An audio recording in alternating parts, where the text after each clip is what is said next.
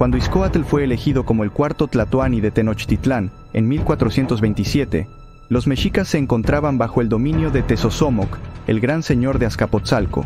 Izcoatl era un gobernante hábil con deseos de poder y gloria. Se casó con la hija de Tezosomoc en un matrimonio que se entendía como una alianza política para fortalecer las relaciones entre Tenochtitlán y Azcapotzalco. Inicialmente, las relaciones entre los dos gobernantes mejoraron. Sin embargo, las tensiones aumentaron tras la muerte de Tezosomoc y el ascenso de su hijo Maxtla al poder. Maxtla incrementó los tributos a Tenochtitlán y sometió a los reinos vecinos. Para liberarse del yugo de Azcapotzalco, Izcoatl formó alianzas con los enemigos de Maxtla, el príncipe exiliado de Texcoco, Nezahualcóyotl, a quien Maxtla había despojado de su reino, y Totoquihuatzin, el gobernante de la ciudad-estado de Tlacopan. Con esta triple alianza, juntos derrotaron a Maxtla, surgiendo así el imperio azteca.